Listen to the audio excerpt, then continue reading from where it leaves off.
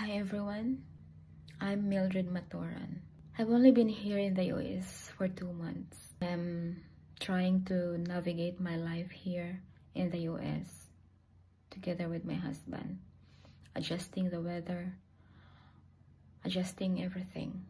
I have no job here yet, but I am going to apply for a job.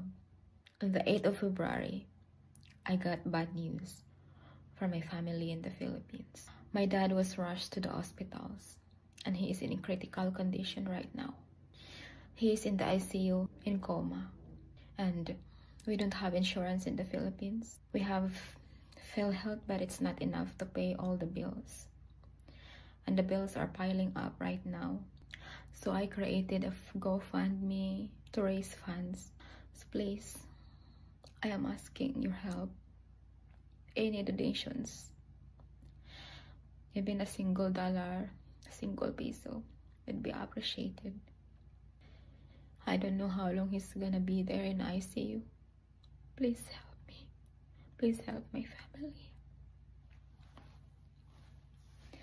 And if you cannot donate, please share and pray for my dad.